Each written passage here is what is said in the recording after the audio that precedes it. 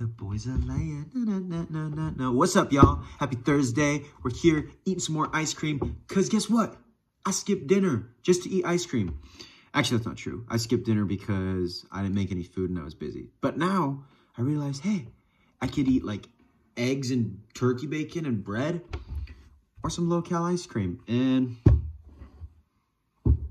it's low-cal. Is it dinner? Not really, but it is delicious. Today we have Nick's, of course, that's all we eat is Nick's ice cream.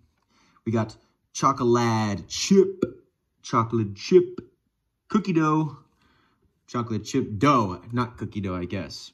I guess just the chocolate chip and no cookie.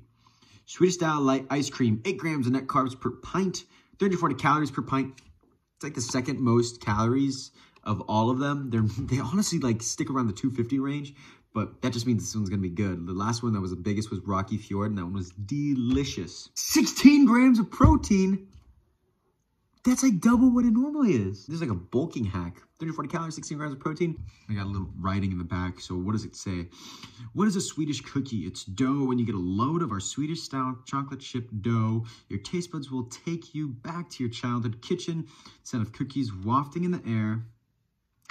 Um, as you wait patiently for mama to let you lick the spoon before she sends you out to churn the butter. Who has, hasn't done that? I'm, I know all the times I've churned butter. Me personally, Oh, you don't churn your own butter? Ah, if only everything could be Swedish style. Joke's on you, I do churn my own butter. Oh, fuck. Look at that swirl. Dude! Yeah, that's what I'm talking about. Right there, that's what I'm talking about. All right, no tiny spoon, we got a big spoon. Let's get into this. It's got a little bit of frost on the top, so we'll try to make it work. With that spoon.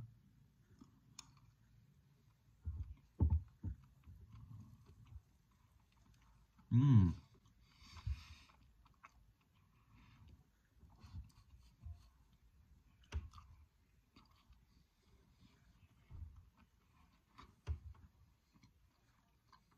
Okay. A lot of these taste kind of the same. I'm gonna say that. It tastes like the hazelnut cream, tastes like the peanut butter. Has that weird mixed flavor, but it doesn't, you wouldn't notice it unless you eat a bunch of them. It's good. It's like a vanilla base, but the cookie dough is literally just plain delicious cookie dough. So I'm giving this an 8 out of 10. That is damn delicious. 16 grams of protein. I can't get over that. Texture's creamy. It's delicious. Mmm. Oh, yeah. That was awesome. 8 out of 10. Go try this for yourself. Go get some. Eat it. And eat the whole pint. Don't be a little baby. All right? You're supposed to eat the whole pint. It's diet food, okay? Anyways, peace out, y'all. Have a good one.